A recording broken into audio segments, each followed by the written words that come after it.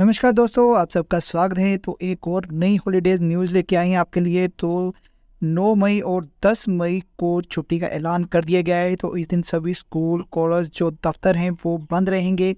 तो पंजाब में जलंधर डिस्ट्रिक्ट में बाई इलेक्शन चल रही है। तो जो इलेक्शन है, वो 10 मई को होने वाली है। तो इसके लिए 9 और 10 मई को छुट्टी का ऐलान किया गया है। तो 10 मई को लोकसभा जिमनी चोन होने जा रही है। तो जिसके मद्देनज़र पंजाब सरकार की तरफ़ से सरकारी, गैर सरकारी स्कूल, कॉलेज दो दिन के लिए बंद कर दिए गए हैं। छुट्टी ऐलान कर दी गई है। तो नौ और दस मई को जलंधर के सभी स्कूल, कॉलेज जो हैं वो बंद रहेंगे। तो इसके संबंध में जो डीसी जसप्रीत सिंह जी हैं, उनकी तरफ़ से आदेश भी जारी कर दिए गए हैं।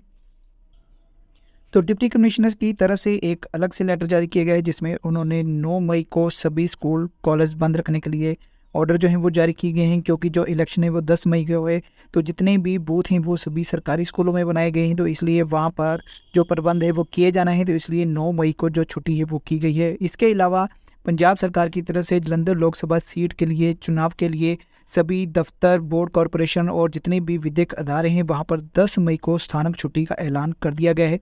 तो पंजाब सरकार की तरफ़ से ये जो छुट्टी है नेगोशिएबल इंस्ट्रूमेंट एक्ट अठारह सौ इक्यासी तहत के अधीन जो छुट्टी है, वो ऐलानी गई है।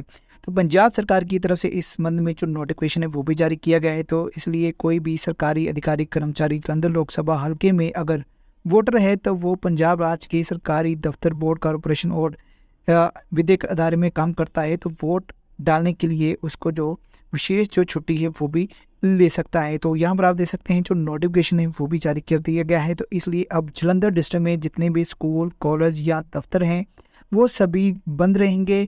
9 मई और 10 मई को छुट्टी का जो ऐलान है, वो किया गया है। तो अगर आप भी जलंधर डिस्ट्रिक्ट में आते हैं तो आपको भी स्कूल में 9 और 10 मई को छुट्टी रहने वाली है। तो आज की इस वीडियो में यही अपडेट है। इसी तरह की और भी अपडेट्स, जानकारी लेने के लिए बने रहेगा हमारे साथ।